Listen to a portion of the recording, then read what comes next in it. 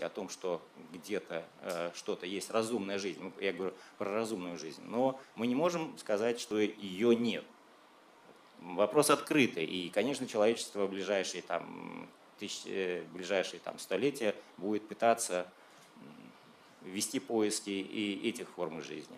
Но в том числе, в том числе вот сейчас, например, более конкретно, предметно говорить, э, специально будут построены в ближайшие десятилетия телескопы с диаметром зеркал 30 сантиметров, 39 санти... извините, 30, 30 метров, 39 метров, 30 метров строят американцы на Гавайских островах, зеркало составное, 39 метров. Южноевропейская обсерватория в Чили строит. И одна из задач, зачем они, вот, налогоплательщику объясни, зачем нужны такие гигантские средства, это миллиарды долларов – для строительства таких телескопов. Одна из задач, которые они говорят, мы хотим получить спектр объекта, планеты. Вот мы, скажем, обнаружили с помощью нашего телескопа полутораметрового, но он маленький по, для таких задач. Он освещается э, светом звезды. Свет этой звезды отражается от поверхности планеты. И вот если вы получаете совместный спектр звезды и планеты, вы потом можете попытаться одну десятитысячную, одну стотысячную долю от этого спектра, это вот как раз спектр, который отражается от поверхности планеты. И если на поверхности, на этой планете есть вода, азот, углерод, и вы сможете найти эти следы, эти маркеры, они называются биомаркеры, на поверхности планет, используя эти спектры, полученные на крупнейших телескопах мира, э, это уже некоторые аргументы в пользу, что там есть обстоятельства ну, для того, чтобы жизнь могла там сформироваться.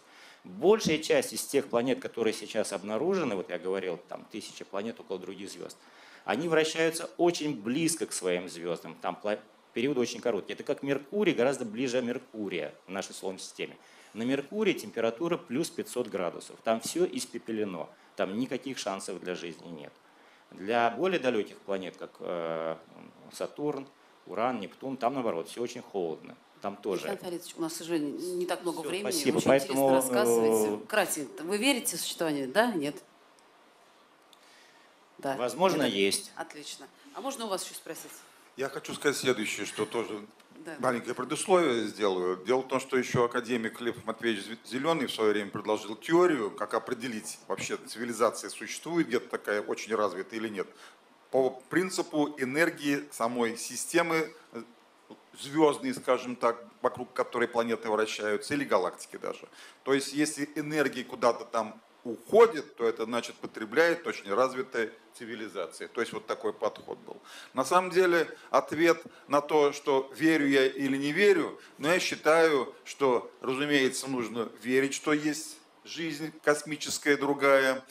А самый главный момент, нужно верить в то, нужно ли нам встреча с более развитыми цивилизациями, потому что она, по, опять-таки, мнению многих очень известных астрономов, а, и физиков мира, они считают, что это может привести к очень неприятным последствиям. И такой подход тоже существует. Это не означает, что если мы с ними встретимся, то будут поцелуи там, и так далее, там, и цветочки. Да. А НЛО вы видели? У вас ведь самое новейшее оборудование в руках. Но я хочу сказать следующее, что а, сам я НЛО не видел, но видел людей, которые говорили, что они, что они видели. Ну, я тогда вам Вот так вот. чем людям, Да, которые да, как да, будто да, да. видели. Но сам, к сожалению, я вот с такими объектами а, не встречался. А, Вот, вот при наблюдениях и ни разу, чтобы даже было что-то такое похожее, не наблюдал. Последние финальные минуты у вас. Тоже вот интересно ваше мнение, а то вы как-то в сторонке сидите так скромно. Ну, эта вот тема очень интересная, и вот хочется сказать большое спасибо э, такому автору, как Стивен Хокинг. Он сейчас выпускает книги, они очень простые, и вот для того, чтобы как бы углубиться вот э, в изучение простому человеку космоса, э, очень здорово почи- почитать вот именно его книги. И, конечно же, вероятность того, тех событий, то, что мы можем встретить кого-то, она всегда есть. Вот, ее нельзя исключать. Вот, в принципе. Ну, Такой ин- интригующий, я бы сказала, такой информации. Все-таки мы будем ждать, а вдруг мы когда-то встретимся с ними.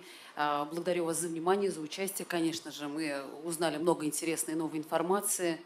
Я думаю, что она впечатлила и журналистов, и тех, кто был с нами в онлайн-трансляции. С праздником, Днем. Спасибо за встречу, спасибо встреч. всем. Спасибо. Татаринформ. 27 лет мы делаем новости. На русском и татарском языках. На любых мобильных устройствах. Новости, события, подробности.